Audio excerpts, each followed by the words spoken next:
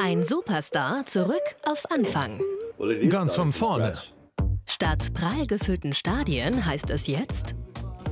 Nicht ganz so schick hier. Und trotzdem sorgt Deutschlands beliebtester Finne immer noch für Ausnahmezustand. Der Hype um ihn ist ja schon recht groß. Sorry. Nach mehr als 15 Jahren Mega-Erfolg mit seiner Band Sunrise Avenue legt Samu Haber jetzt als Solosänger einen Neustart hin, tourt erstmals mit neuem Album allein durch Clubs. Vor seinem Auftritt in Berlin empfängt er uns im Tourbus und verrät exklusiv, mit wem er hier in echter Rockstar-Manier die Nächte verbringt. Mein Kuschelwalross Moso schläft neben mir. So bin ich nie einsam, aber er schnarcht extrem. He snores really hard. Nebenan gibt's zehn Schlafkojen für die Crewkollegen. Übrigens das gleiche Tourteam wie zu Sunrise Avenue Zeiten, bis auf die Bandmusiker. Und ohne die und den berühmten Namen Sunrise Avenue im Rücken fällt jetzt alles eine Nummer kleiner aus. Die Zeiten, in denen die Finnen große Hallen und teilweise sogar Stadien gefüllt haben, sind vorbei, gibt der Ex-Bandleader zu. Stadien hätte ich einfach nicht vollgekriegt. Dann lieber klein. Außerdem, von der Bühne aus sieht jedes Stadion der Welt gleich aus, aber jeder Club komplett unterschiedlich. Was er genau damit meint, zeigt uns der 48-Jährige jetzt bei einer kleinen Führung durch den Backstage-Bereich der heutigen Location. Scheißhaus, Dusch, uh, Make-up-Ding. Selbst wenn Rihanna, Madonna oder Coldplay irgendwelche Sonderwünsche haben, zahlen sie auch alle selbst dafür. Da bleibe ich lieber bei meiner Gitarre, meinem Kapuzenpulli und einem guten Bett. Mehr brauche ich nicht.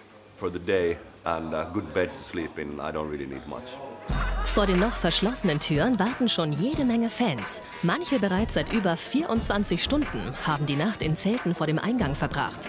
Viele stehen bei gleich mehreren Konzerten in der ersten Reihe und reisen ihrem Idol hinterher. Teilweise bis nach Finnland. Lilian aus Köln harrt bei Temperaturen um die 10 Grad seit 6.30 Uhr aus. Bei mir ist es wirklich so ein bisschen noch, um meinen inneren Teenager so glücklich zu machen. Also ich war halt wirklich mit 15 auf den Konzerten, mit 14 dann war mit meiner Mama da und es ist mega schön mit Sunrise Avenue gewesen. Jetzt ist das halt nicht mehr da, jetzt gehen wir zu Samu. Man kann es ja eh nicht ändern. Hauptsache Samu, egal wie. Darum geht es hier. Und genau diese Erkenntnis ist 2019 auch der Hauptgrund für den Sänger, die Band schweren Herzens aufzulösen. Schon zu Bandzeiten war mein Gesicht im Fernsehen und auf den Postern. Ich habe die Songs geschrieben, produziert und gesungen. Wenn man ehrlich war, ist es ohnehin seit meiner Jugend einfach mein Projekt. So heißt es seit 2022 für ihn, wenn schon One-Man-Show, warum dann nicht gleich solo durchstarten? Nach einem finnischen Album und Konzerten in seinem Heimatland, jetzt auch wieder hierzulande und auf Englisch.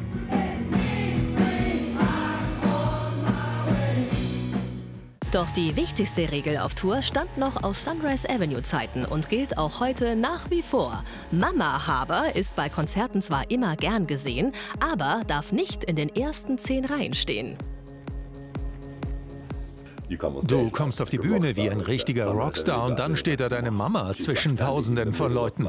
Du siehst ihre Haare und wie sie denkt, ich bin so stolz auf dich. Und wenn ich dann sexy Tanzschritte mache, meint sie, das solltest du lassen. Sie hat nun mal meine Windeln gewechselt, als ich klein war. Deshalb passt das irgendwie nicht. Und dabei wird es auch bei Samu Habers großer Open-Air-Tour im Sommer 2025 bleiben. Davor kann aber jeder den charmanten Finnland-Import von den den besten Plätzen in der ersten Reihe vor dem Fernseher verfolgen. Als Coach bei The Voice of Germany. Heute 20.15 Uhr in Sat 1, Donnerstag auf Pro 7 und natürlich immer auf Join.